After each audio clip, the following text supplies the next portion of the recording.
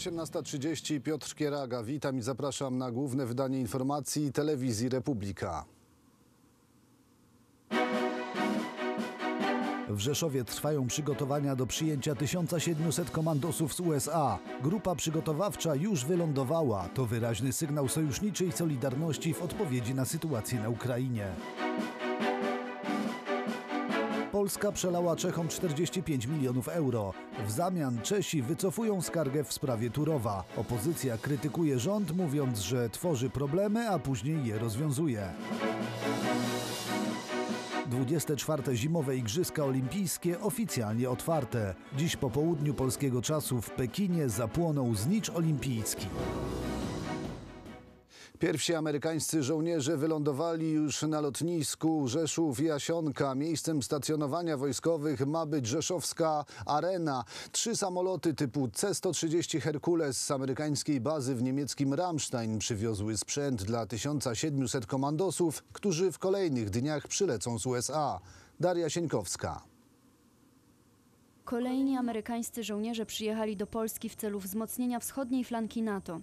O przybyciu grupy przygotowawczej do kraju poinformował minister obrony narodowej Mariusz Błaszczak.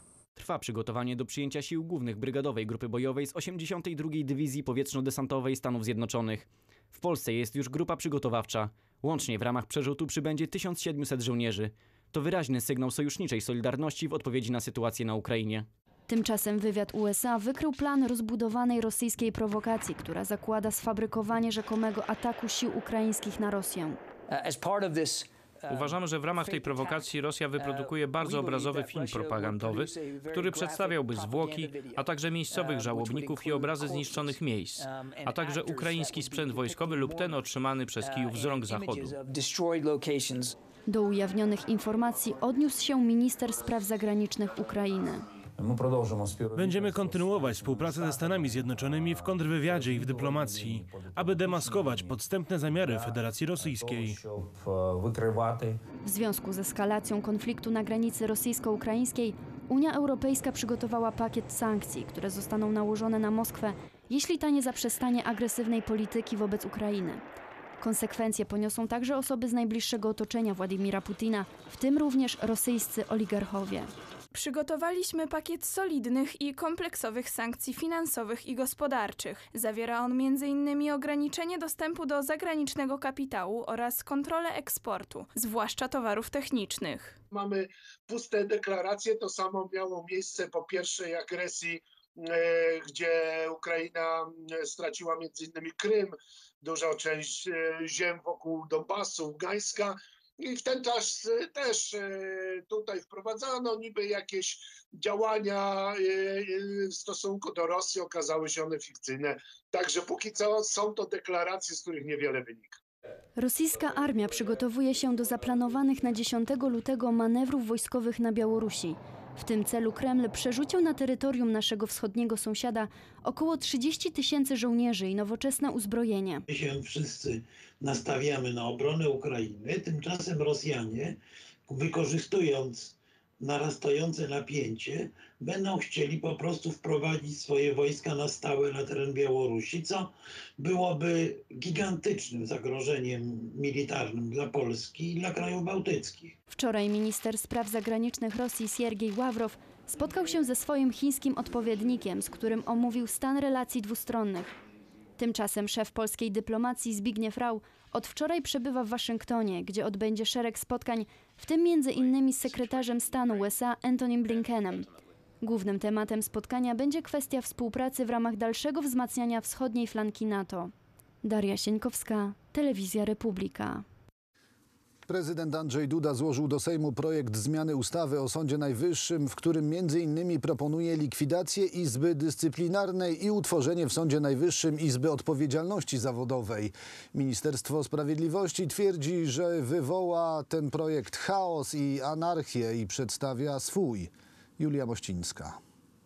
Prezydent Andrzej Duda podkreślił, że inicjatywa dążąca do likwidacji Izby Dyscyplinarnej wpisuje się w oczekiwania uczestników sceny politycznej. Co więcej, prezydencki projekt został z aprobatą przyjęty przez opozycję. Każdemu obywatelowi Rzeczypospolitej Polskiej, krótko mówiąc, każdemu człowiekowi, Przysługuje prawo, powiedziałbym święte prawo do rozpatrzenia jego sprawy przez bezstronny i niezawisły sąd. Odmienne stanowisko prezentuje jednak Ministerstwo Sprawiedliwości. To przepisy prezydenckie są przedmiotem ataków i szantażu ze strony Komisji Europejskiej i TSUE.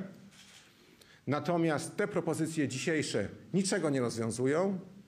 Co więcej, mogą przyczynić się do pogłębienia chaosu i anarchii w naszych sądach. Zgodnie z projektem w Sądzie Najwyższym ma powstać Izba Odpowiedzialności Zawodowej, która zastąpi Izbę Dyscyplinarną. Miałaby ona składać się z 11 sędziów wybieranych na pięcioletnią kadencję. Ponadto wszyscy sędziowie Sądu Najwyższego byliby wybierani w sposób równy i nikt nie miałby uprzywilejowanego statusu. Ci sędziowie, którzy do tej pory orzekali w Izbie Dyscyplinarnej, dalej będą sędziami i dalej w związku z tym powinni orzekać. Y, To w jakiej formule i w której izbie jest osobnym zagadnieniem, zważywszy na to, że izba ta nowa ma być izbą, w której y, sędziowie rotacyjnie orzekają przez pewien okres czasu, nie, nie zaprzestając orzekania w swojej macierzystej izbie. Sędziowie, którzy orzekają w Izbie Dyscyplinarnej, mają mieć możliwość przejścia do innej izby lub w stan spoczynku. Prezydent tłumaczył, że jego projekt nie oznacza, że nie będzie odpowiedzialności zawodowej sędziów. Każda z grup zawodowych ma, ma swój sąd y, korporacyjny, sąd dyscyplinarny. A chodzi o to, żeby znalazła się grupa sędziów, którzy by w sposób bezstronny, niezależny, rzetelny mogli poddać orzecznictwo tychże, tychże organów korporacyjnych y, y, sensownej kontroli. Projekt zmiany ustawy o Sądzie Najwyższym ma być narzędziem do zakończenia sporu z Komisją Europejską i odblokowania Krajowego Planu Odbudowy. Unia Europejska jest tu prędzej czy później tak skazana na to, żeby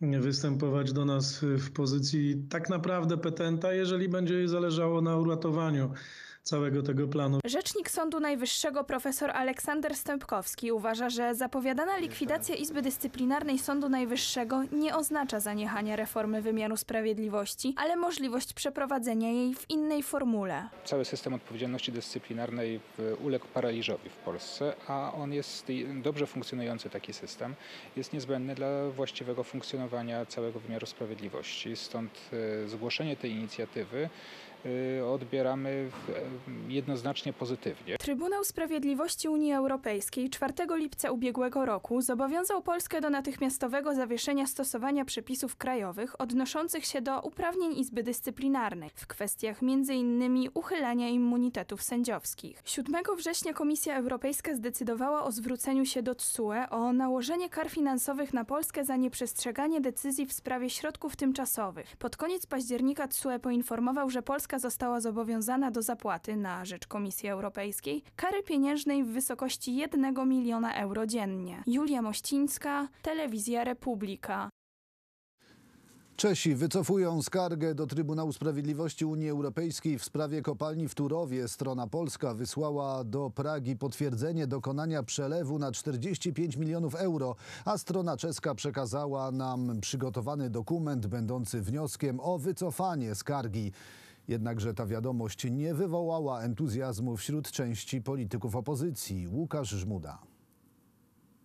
Porozumienie w sprawie Turowa osiągnięto po kilku miesiącach trudnych negocjacji. Nie pozwoliliśmy sobie na to, żeby wyłączyć z funkcjonowania kopalnie i elektrownie w Turowie. Kara została nałożona 21 maja 2021 roku przez Trybunał Sprawiedliwości Unii Europejskiej. Sąd nakazał natychmiastowe wstrzymanie wydobycia węgla w kopalni. Część polityków opozycji, w tym m.in. prezydent Warszawy Rafał Trzaskowski, bez wahania przychylił się do skandalicznego wyroku. Na tym polega system Unii Europejskiej. Jeżeli doprowadza się do tego, że sprawy są już w Trybunale i Trybunał wydaje orzeczenia, no to jeżeli mamy poszanowanie dla unijnego prawa, nie ma innego wyjścia.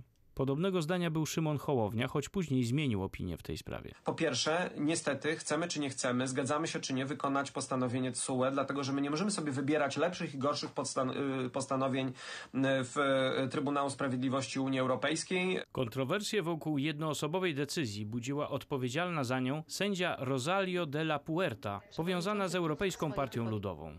Poznajcie panią wiceprezes TSUE Rosario Silva de la Puerte, która jednoosobowo nakazała natychmiastowe zamknięcie kopalni w Turowie. Gratulowała jej polska europosłanka. Brawo, pani sędzio. To w pewnym sensie strzelanie sobie w kolano przez Platformę Obywatelską, ponieważ region zalicza się do jej politycznych bastionów, mówi mu Marek Klul. Opozycja natychmiast wykorzystuje takie sytuacje, bo wiadomo, że im gorzej dla Polski, tym lepiej dla opozycji. Tak oni sobie to wymyślili. Osiągnięte wczoraj porozumienie nie usatysfakcjonowało czeskich ekologów. Ważne, żeby cel w gruncie rzeczy ideologiczny, jakim jest y, walka z węglem, e, został zrealizowany. No i w ten sposób decyzja, która prowadzi do tego, że, e, że Turów będzie mógł e, mimo dużych kosztów, ale jednak dalej funkcjonować, mm, ekologów, e, ekologów irytuje. W wyniku zawartego porozumienia Czechy zobowiązały się wycofać skargę do TSUE. Ostatniej doby granicę polsko-białoruską próbowały nielegalnie przekroczyć 22 osoby. W nocy doszło do kolejnego groźnego incydentu podczas próby siłowego przekroczenia granicy. Kiedy cudzoziemcy przechodzili przez zniszczone zabezpieczenia, służby białoruskie rzucały kamieniami w polskie patrole. Minionej doby na granicy polsko-białoruskiej ujawniliśmy 22 osoby, które próbowały nielegalnie tą granicę przekroczyć.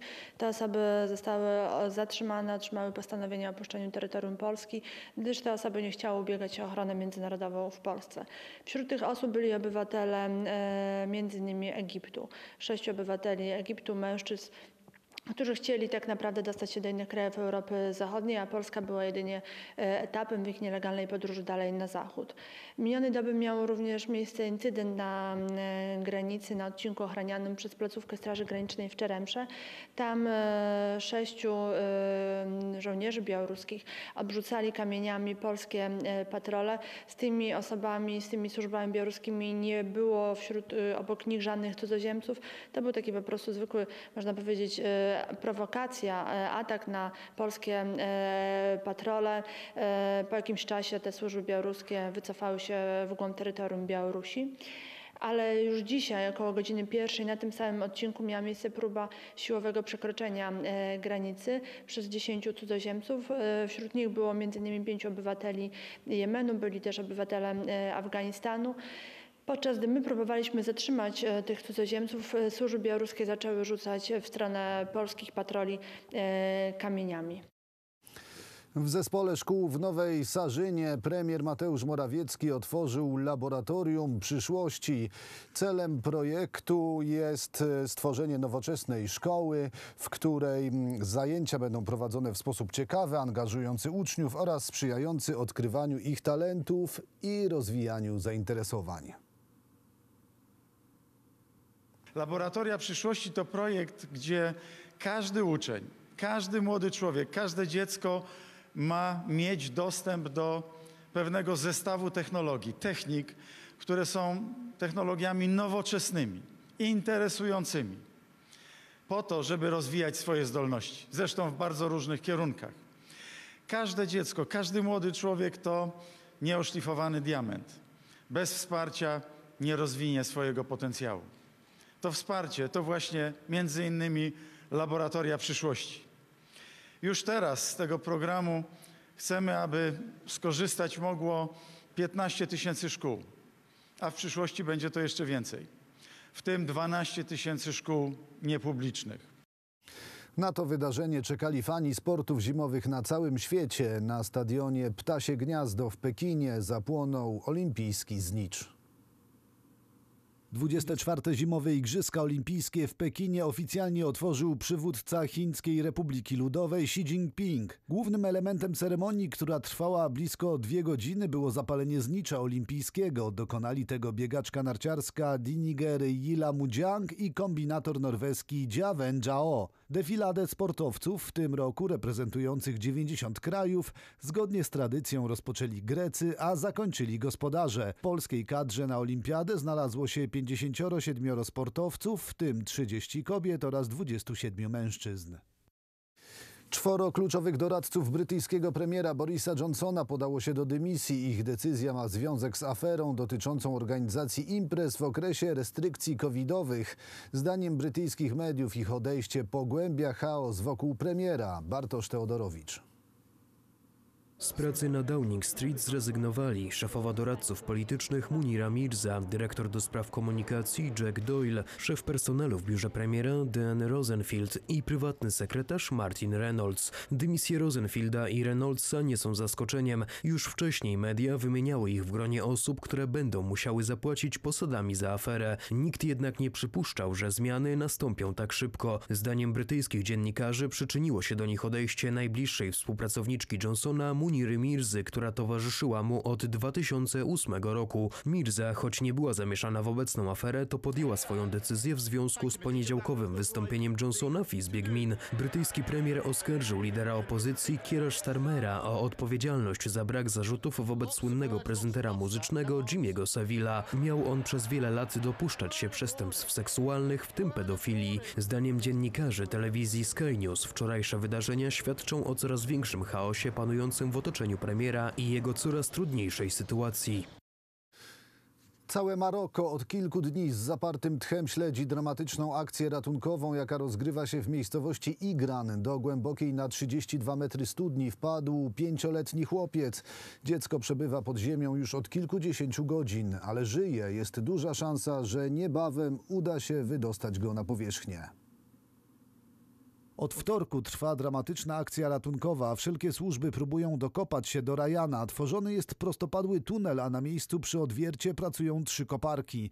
Do studzienki, która o tej porze roku nie jest wypełniona wodą, ratownicy wpuszczają tlen oraz dostarczają chłopcu wodę zmieszaną z cukrem, by go pożywić. Podjęta w środę próba zejścia ratowników do chłopca nie powiodła się. Dziś rano służby poinformowały, że najprawdopodobniej w ciągu kilku kolejnych godzin uda się dokopać do chłopca. Stan pięciolatka jest cały czas monitorowany przez kamerkę wpuszczoną w głąb studni.